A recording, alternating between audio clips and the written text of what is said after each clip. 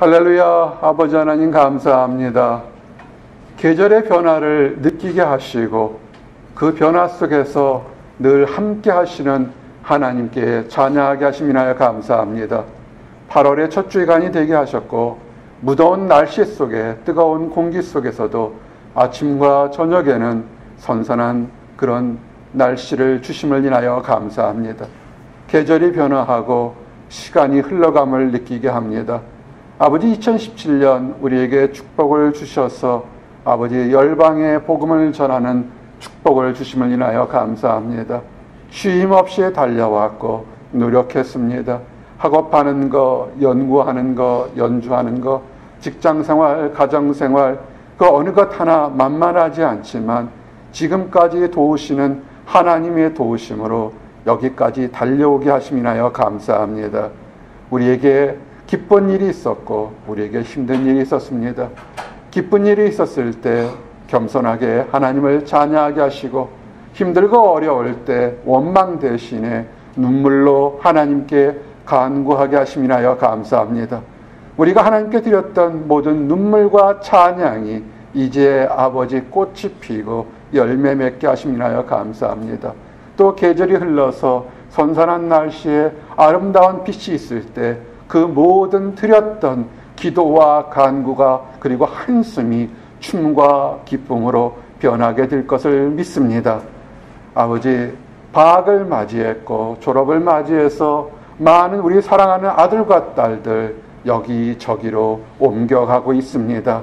아버지 어느 곳에 있든지 간에 무엇을 하든지 간에 늘 하나님 안에서 거룩한 곳, 온전한 곳에 있도록 주여 지켜 주시옵소서. 하나님 특별한 뜻이 계셔서 우리의 살던 곳, 그리운 곳, 따뜻하고 아늑한 곳에서 지구의 정반대인 이 보스턴에 불러주심을 인하여 감사합니다. 우리가 뛰어남을 들고 왔고, 우리가 젊음을 들고 왔고, 우리가 넉넉함을 들고 이곳에 왔지만, 이곳에 치열한 경쟁과 정말 말할 수 없는 뛰어난 사람들과 거친 물가와 환경 때문에 숨이 턱턱 막힐 때가 참으로 많았습니다. 언어가 부족할 때가 많았고, 아버지, 우리가 느끼지 못하는 인종차별로 인해 고통받은 적도 있음을 고백합니다. 아버지, 이런 것을 우리에게 보내주신 거, 아버지, 왜 일까 궁금할 때 많았습니다. 아버지, 요셉을 애굽에 보낸 것처럼, 아버지, 그가 알지 못하는 땅에 보내셨을 때, 하나님, 우리와 늘 함께 계심을 인하여 감사합니다.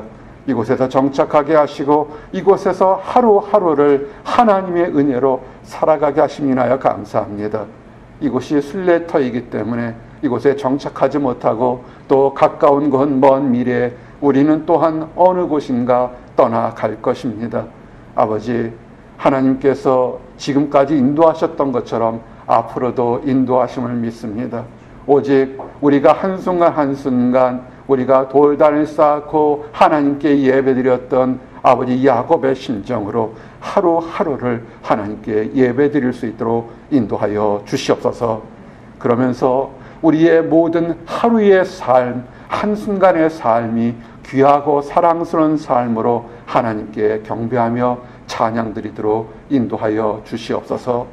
아버지, 거친 삶 속에서도 천하보다 귀한 것이 한 영혼이요. 그 한 영혼이 하나님 앞에 회개할 때 천국에 있는 천사들도 기뻐한다는 그 믿음으로 땅 끝까지 이르러 복음 전하는 우리 선교사님들이 있습니다.